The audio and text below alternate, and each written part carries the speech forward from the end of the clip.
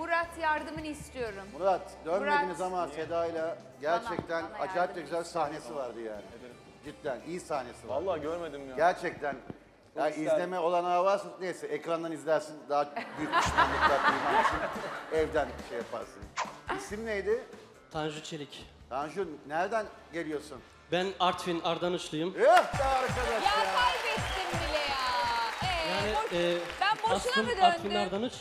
E, ben de orada oranın bir köyünde doğdum. Şimdi Trabzon'da yaşıyorum. Oh, Resim güzel. öğretmeniyim.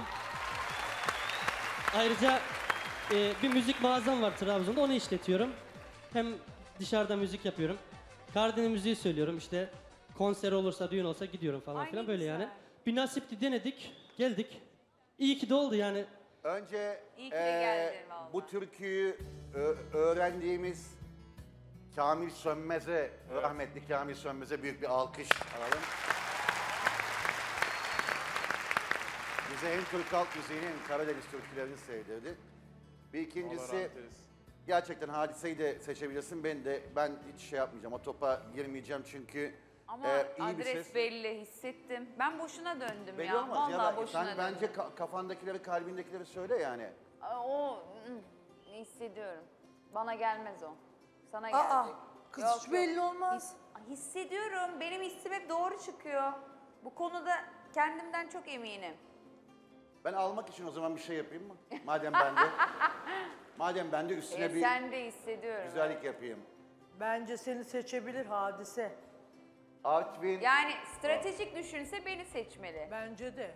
Ama belki de beyazla hani Bugün hadisenin günü. Hadise şu anda yepyeni bir stratejiyle sahada. Bravo. Beyaz abi Ardanış'ta cağ yemeğe götürecekmiş öyle mi? Ay herhalde köye gideceğiz. aa işte al işte. Bak ne zaman da köye gitmiyorum vallahi. Gerçi köyde E, pek aynen, kimse şey kalmıyor. söyleyeyim, toz kondurmuyor E, ya. yani işte. Vaat gelir gibi oldu. Üstelik ben bir şey dedim. Evet. Beyaz Hayır, abi beni onu- Artvin'e Hayır, ilk götürecek. defa hayatımda böyle bir şey gördüm. O vaadi kendi söyledi ya. Evet. Abi tabii Yani Hedefe, haklısınız. hedefe kilit mi geldi? Hemşeri. Haklısınız da bizim orası Ardanuç biraz çayla meşhur olduğu için direkt daldık öyle kusura cağ bakmayın. kebabıyla, cağ kebabıyla. Evet. Ay giderdik harman yerinde. Bir dakika A- Ardahan'da mı cağ kebabı meşhur? Ardanuç dedim. Ardahan'da mı cağ kebabı meşhur?